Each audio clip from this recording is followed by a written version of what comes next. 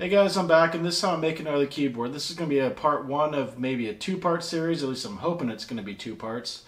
But I am uh, taking the Dactyl uh, keyboard and I'm modifying it so that I can put Alps switches in it. And I modified the design quite a bit in Blender. Here is what I came up with. So getting to the stage, I went through quite a few prototypes, and a lot of them failed for various different reasons. So my first design, I stopped it probably about 10% of the way through. So in this piece, I have these little tiny feet, and these little feet I just didn't like. In my second iteration, I made the right-hand piece first, and I had this little USB cutout here that was going to be fit perfectly for the breakout board for USB-C that I had. But that turned out not to work out. Um, however, uh, the top part with all the keys and the spacing was wrong as well. But I didn't realize that in this version. I waited until I printed off even another piece. And I noticed that whenever I pressed them, they actually would get stuck on each other. So they got stuck on each other, which means this whole print and the previous print before it was useless. I should have done prototyping at the very beginning for key spacing, but I wasn't thinking about it. I was only thinking about the cutout hole for the actual switch themselves. So then I printed off uh, two little pieces for testing out the spacing on all the keys. To fix the key spacing issue, I made a prototype model and I put the switches into that and looked at all the spacing in between all the keys. And the first version, while they didn't hang on each other, which was a great improvement, they weren't evenly spaced. Uh, the reason being is that Alps keys sit a little bit higher than uh, Cherry keys. So I didn't take that into account. And so in my second version, all of them are all evenly spaced and it looks perfect. And for my final prototype of key spacing, I went ahead and made a uh, piece that not only does the the column, but has a row next to each other, so that we can check check the other spacing that was there. And with all that done, we have the final piece, which I've printed off both of them, but I've only put in switches into one half so far. Uh, so the switches are in, and I made sure that all the places that would hit a corner were tested with switches, uh, with cap keycaps rather, and I'm really happy with the way this print turned out. The second half of the key uh, keyboard I have not finished. I still even have some pieces to tear out from the support material, um, and it, where the places where the USB stuff uh, goes into. I'll be using USB-C to connect the two halves because it has reversible 12 pins which is really nice. And I and make it even better, I don't have to use a microchip between them uh, to process all the input from one half, so I can fit it into four wires with the TRRS cable would do, and push it over to the other one, introducing input lag.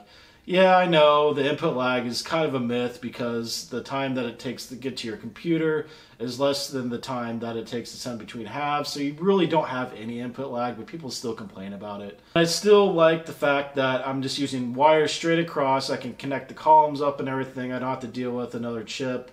It just makes things a little bit simpler on my end. So the USB-C connector is made up of three parts. You have one part of it, which is the bottom, and then you put the USB-C breakout board on top of that, and then finally you have the top of the full connector piece. And it leaves the, the pens exposed, uh, the solder points exposed, so I can actually connect up the wires. Um, and then lastly, it will slide into the keyboard slot. And this design works for the USB-C and it works for the USB, uh, the mini USB which I'm using to connect to the actual computer. So like the USB-C connector, it's made up of three parts. You have the bottom, then you have the breakout board, but this time I'm using mini uh, B USB for the keyboard connector, and then I'm using the top part here, uh, just like the other one. And this will break, uh, break out the USB from the Pro Micro that I'll be using. Uh, the Pro Micro has just enough pens to uh, make sure all these keys will work in this keyboard. and it's only like $3 on Amazon. As opposed to the Teensy, which is, I think last time I bought one was like 13 or $15, somewhere around there. So you save a little bit of money. So why is this part one of part two and not just a complete full thing?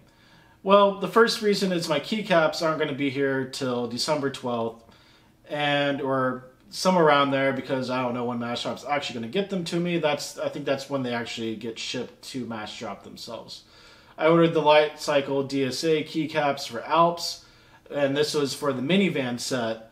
So it wasn't a complete coverage of this keyboard, and I planned on actually getting some keycaps from Pimp My Keyboard for Alps Black DSA which I got those already a long time ago. But the light cycle has not come in yet, so whenever that's done, the keyboard can actually be finished. I also have a whole bunch of more projects coming down the pipeline, but none of them are finished as well, so that's another reason. And lastly, it's been the holidays here in the United States. We had Thanksgiving, and then we had those fake corporate holidays, you know, like Black Friday and Cyber Monday, and, you know, who cares about whatever sale having.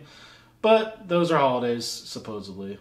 So, to complete up the Dactylus keyboard in part 2, I will have to hardwire all the switches together, and then I'll have to be able to program the Pro Micro, which I've never used before, but I hear it's just like a Teensy, just a little bit harder. Uh, so, I'll be using that, and then I have to get my keycaps, which I already talked about, and that'll be it.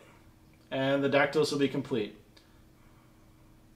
Well, thanks for watching. If you liked the video, please give me a thumbs up. And if you want to see part two, then hit that subscribe button. You'll get notified whenever that pops up. Otherwise, stick around and watch the time lapse.